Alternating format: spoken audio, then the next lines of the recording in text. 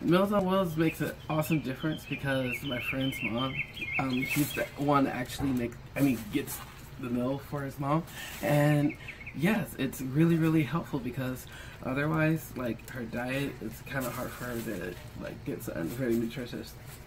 It's awesome.